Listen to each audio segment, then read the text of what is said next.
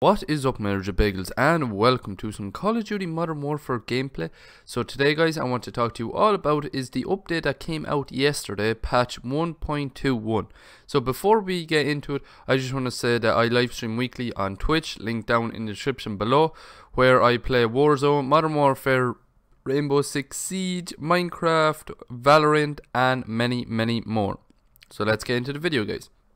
So yesterday's update for PS4 players was 20 gigabytes and players on both PC and Xbox it was about a 30 gigabyte update and of course players who just have Warzone it could have easily been uh, smaller. I don't really know because I don't just own Warzone itself. And we'll just start with some of the changes that kind of happened. So we'll start with Warzone for now where there were some changes. However the main one is actually to the phones and the bunkers where certain phones you could actually go up to and actually ring them and they'd start beeping then something in Morse code and then a Russian voice.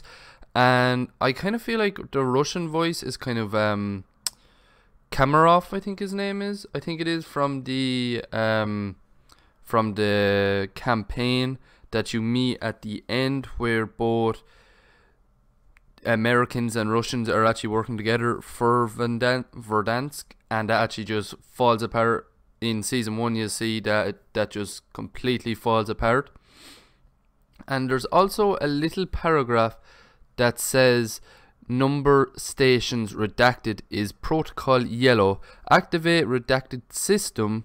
Redacted is inbound, awaiting correct authorization.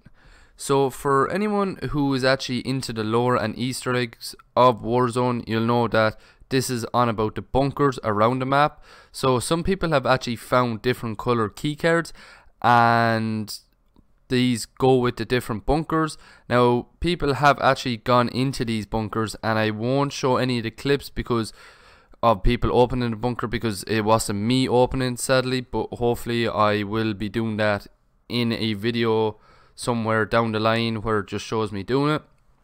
Like I said in a previous video, this update will bring armor boxes to the game. This is just the same as your munitions box, but it's uh, blue colored and this like I said before is going to be really really really a big change to the whole game.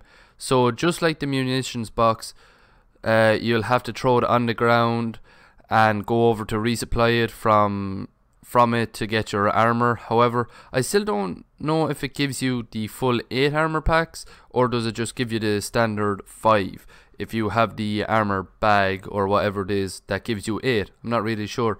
But I definitely want to say this is about 6 grand, not the 5 grand that I thought it would be, which is not too bad to be honest. It's fairly good, I think personally. Moving to the Gulag, the guns in the Gulag have actually changed. For example, the guns are now that are now in the game are in the sections of SMGs and ARs. So what are these guns? Well, I listed them off or some of them off in the previous video, but these are actually them. The Kilo 141, AK-47, M13, SCAR, RAM 7, MP5, AUG or AUG, P90 and the Striker 45. So when you do get one of these weapons in the Gulag, it doesn't have any attachments on it. Now they've also updated the loot a little where you can get a legendary weapons, epic weapons that are already on in loot boxes. So for example, the Kilo is now a legendary, an epic AX50, a legendary MP7, the AUG is an epic, and an epic FAL which is pretty good. They've also added back in the most wanted bounties that will work with the normal bounties in the game now which I don't know how I feel about this about the most wanted bounties because I really thought they were kind of they weren't great but they weren't bad at the same time they were like mediocre they're not as good as personally I would think that the bounties that are in the game now where you just pick it up, it goes on a random person, the person could be near you or could be fucking God knows where, really far away, and someone else could kill them and you get a percentage of the money, which is pretty cool in my mind. they've also changed the time on this bounty, so instead of the typical 5 minutes, it is now changed down to 3 minutes. Now the new change is to the final circle, just like Fortnite, instead of closing all the way in, now it actually closes to a certain size and then the circle starts to move, so you'll have to move with the circle, which is pretty good. It can help you out if people have to run to you and the zone or the circle is actually moving kind of towards you or you'll still be in the circle every now and then that you just stay near it which is going to be a game changer personally I think.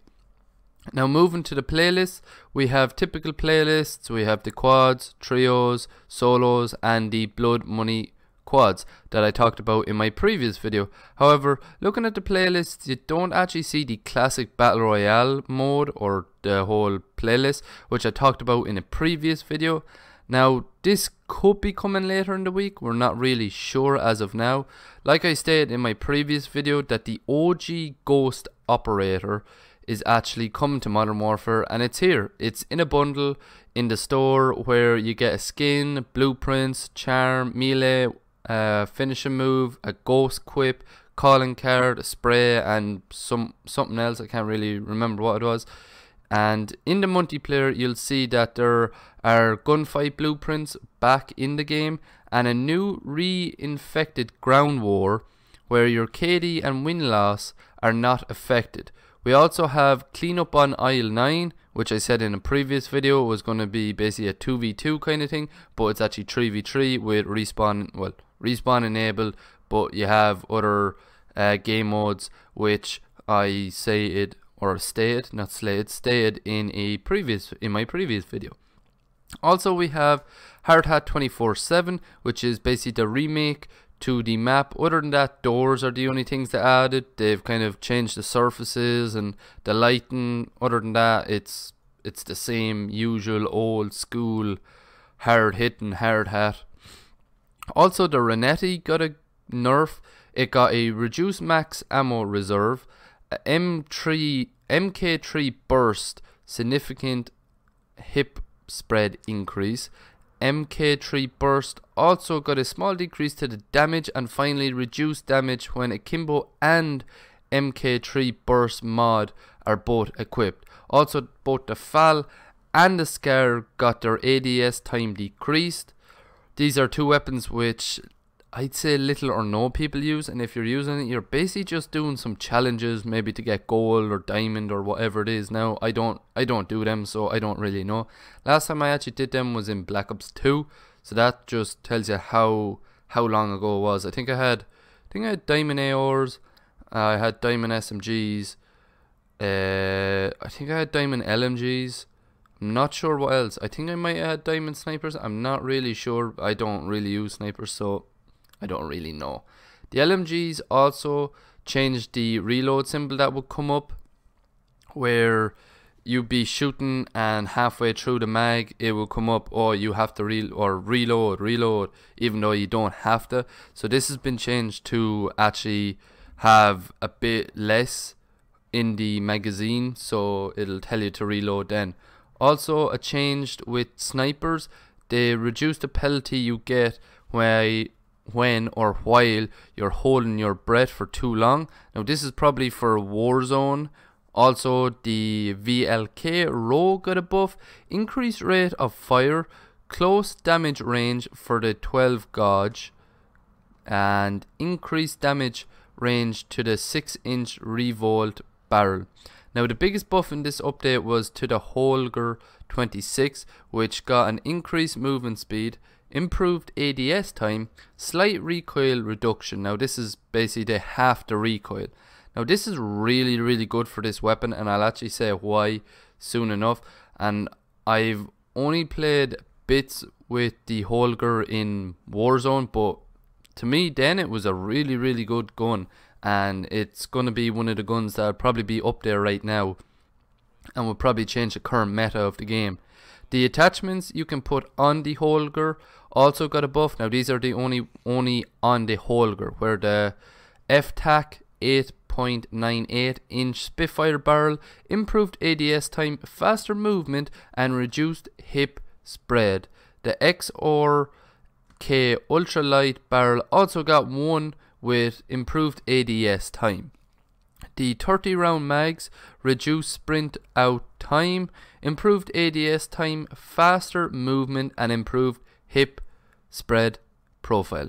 No stock got a buff as well, which gives you increased sprint out time, faster movement, reduced hip spread, and improved ADS time. The last attachment is the stipple grip tape, which got a buff for improved ADS time. Now, this is a huge buff to the Holger because it might be a weapon to basically use in Warzone and multiplayer, and it could literally take over the Grau, or it could be up there with the Grau in some cases. Now, also in Spec Ops, there's also modified operations. Some of them have difficulty changes to the previous operations, or some of the kind of enemy spawns have changed, so there's more enemies spawning. Now, of course, there was little bugs as well, fixes to them, and I actually didn't cover them in this video because it would just take way too long. There was a good few of them, and nobody really cares about them. They kind of just care about the guns and everything like that. If there was a huge a glitch that was kind of massive and it was pissing people off and everything like that, like going through the ground or something, then I'd probably cover it because it's something that everyone is basically affected by. But yeah, that is it. That is it, guys. This is the end of the video. If you did like it, please hit the like button. Right beside the like button, you should see a subscribe button. You can hit that and stay up to date whenever I upload to the channel by hitting the notification bell or whenever I go live on the channel, which would be rare. Speaking of live streams, I live stream weekly, like I said. The link to that will be down in the description below. It is on Twitch. I stream numerous games. I'll be streaming Valorant today hopefully for a good while, maybe two or three hours. If you want to see that, link down in the description below. And yeah, that's it guys. Hope you like, favorite, and subscribe, and peace.